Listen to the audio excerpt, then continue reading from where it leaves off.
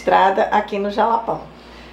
E vamos mostrar hoje nosso caminho de Ponte Alta do Tocantins até Bateiros. A maior, o maior trecho de estrada que a gente vai pegar, né? 160 quilômetros, prepare-se para um dia inteiro de viagem, não um dia desista. inteiro para dar 160 quilômetros. Não desista, porque o Jalapão tem distâncias, mas tudo que você faz lá é belo. Saia o mais cedo que puder, né, de Ponte Alta.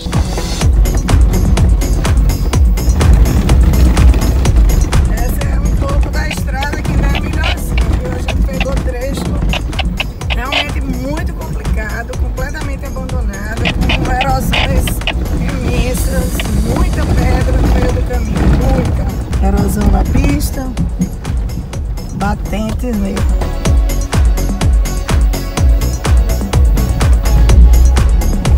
O que é que estava no nosso roteiro que a gente desistiu? A Cachoeira da Velha. A gente conversou com vários guias locais e eles desaconselharam essa ida até a cachoeira pela qualidade da estrada. É, disseram que realmente estava muito, muito ruim, muito buraco e não era legal que a gente fosse nessa época, né, que a gente estava lá.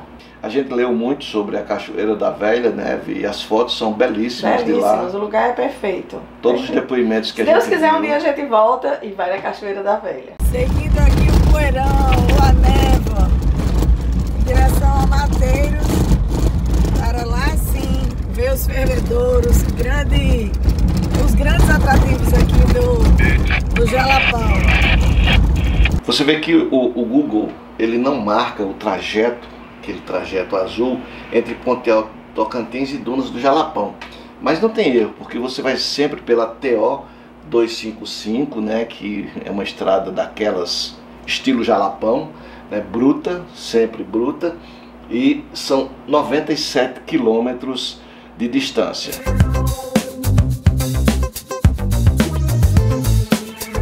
Vez em quando a gente dá uma paradinha aqui para ver essas flores do cerrado aqui.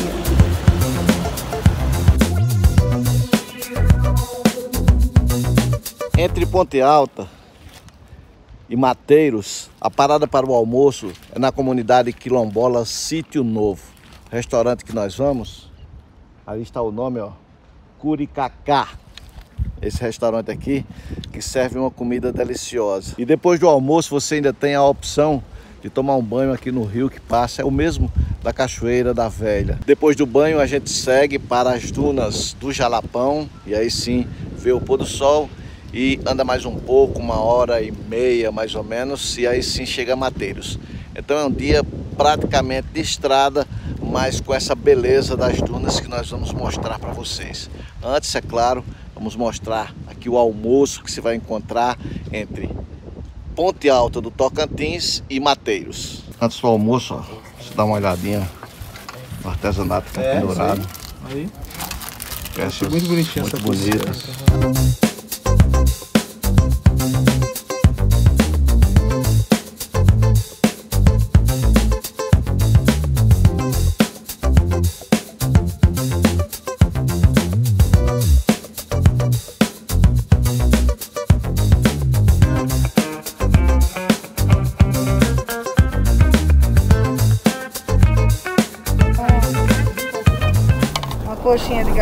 aqui.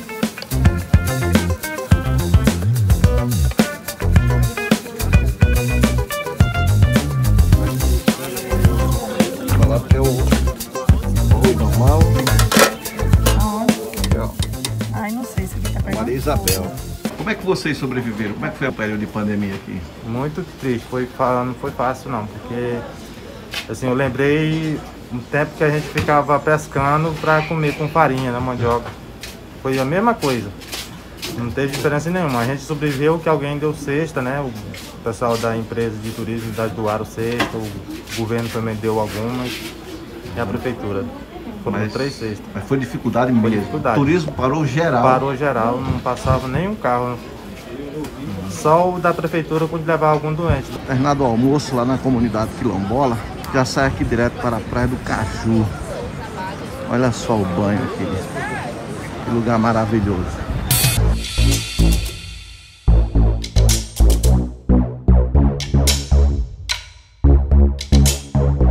se a água tá gelada. Transparente é, né? Agora vamos ver o gelo aqui dela.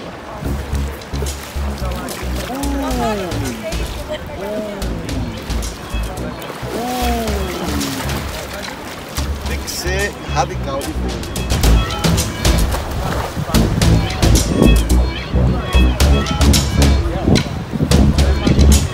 Animadíssima para tomar um banho, mas ao pisar nessa água gelada, desanimei geral. Geladíssima a água.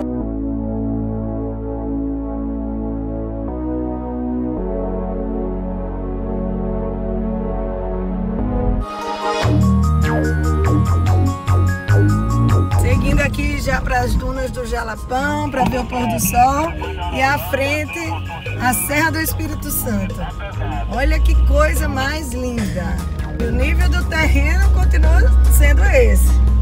Areião frouxo. Aqui dunas a 5 quilômetros. Parque das Dunas, já estamos praticamente chegando. Mas antes tem uma parada aqui, ó. Nesse barzinho super legal. Aqui o pessoal aproveita, bebe uma água, relaxa. Tem gente até que acampa aqui. É um, uma parada, uma parada muito simpática antes de você chegar nas dunas, lá no Parque de Dunas do Jalapão.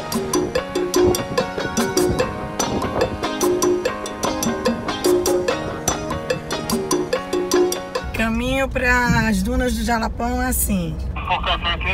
Sempre no areião, frouxo e pesado, viu? Pesado. Tem que ter cuidado, atenção. Muitas entradas, só chega lá se for com guia, certo? A gente paga na entrada 20 reais por pessoa. É, vai mesmo indo no seu carro, certo? Tem que ser carro tracionado o tempo inteiro. Muito cuidado. E aí, Vim? É, 4x4 o tempo todo, né? Muita areia, areia frouxa, ela prende o carro. Tem que andar com o motor sempre cheio para que a areia não segure o carro e você termine atolando, né? E aqui no Jalapão não tem nada de graça. Até o Parque das Dunas, que até pouco tempo não se pagava nada, agora tem que pagar para entrar.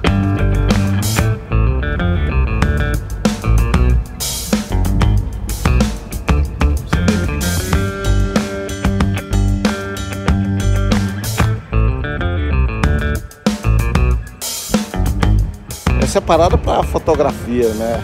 A Serra do Espírito Santo, ó, lá atrás, aqui a Lagoa do Jacaré. É um cenário perfeito, completo.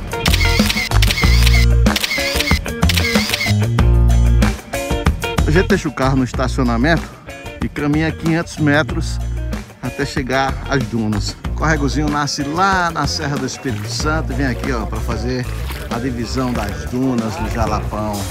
Aí você refresca os pés antes de subir as dunas. Lugar lindo. Você tá, vendo as cores da areia mudar, fica mais dourada, mais laranja. E aqui é lugar para foto, foto no Instagram.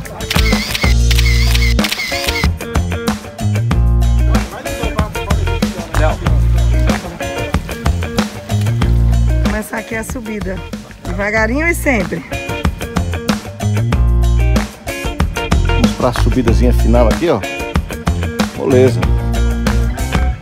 Tranquilo aqui os últimos metros. Chegar lá na, no topo da duna. O pessoal parou aqui, mas não foi de cansaço não. Vai esperar ali a foto, tem uma estrela de Hollywood ali na frente.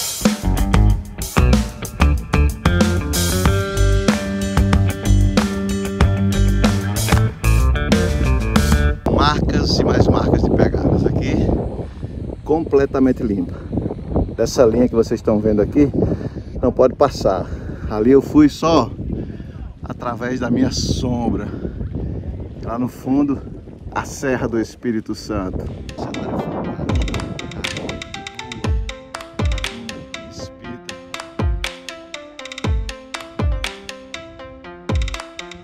E a duna, pessoal, a duna, como é formada. Vamos aqui, ó. Minha sombra repórter vai responder. Olha lá a parte nua da serra. O vento traz a areia que é depositada aqui, ó, formando essa duna fantástica. Olha só o tamanho.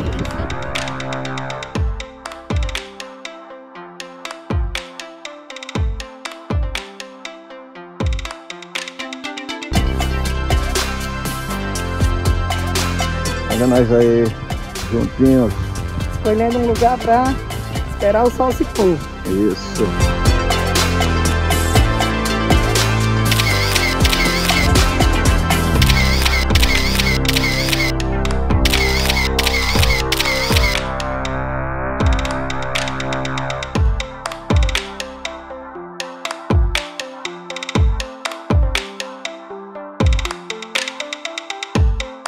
Gente já sai das dunas do Jalapão à noite, né? E chega, consequentemente, em Mateiros.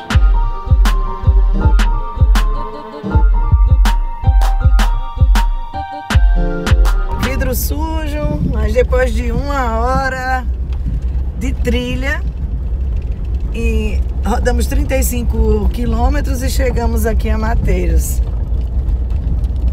Trilha pesada, né? Trilha muito pesada. Mais de uma hora, muito. inclusive. Quando você chega em qualquer cidade aqui do Jalapão, o melhor a fazer é logo abastecer seu carro e deixar já pronto para a saída dos passeios do outro dia. Certo? Então o interessante é procurar logo um posto e abastecer seu carro e deixar tudo pronto. Olha só o estado do Little Hulk, pessoal. Poeira por tudo que é canto, olha só. É bruto esse jalapão. Que lugar maravilhoso. Muito, muita, muita poeira. A tecnologia aqui já. Você abastece enquanto vê cenas aí dos lugares turísticos do Jalapão. Dá o banho aí no Little Hulk. O Little Hulk chegou cansado, cheio de poeira. Ele agora vai tomar um banho legal para poder dormir. Isso aqui é um carro bacana. É arretado. Arretado. Merece o banho. O carro foi 10 na. O banho do Little Hulk. Agora aqui, ó, restante dos carros da expedição. Já todos novos. Nem parece que passaram pelas estradas brutas do Jalapão. Eita, tá bonito demais o Little Hulk. Olha aí. Brilhando! Nem parece. A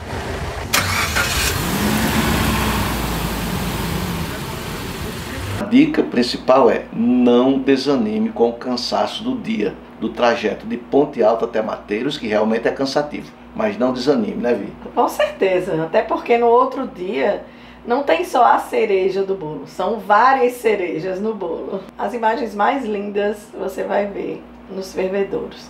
Então continue com a gente, que a gente vai mostrar o terceiro dia e o quarto dia e essas belezas todas.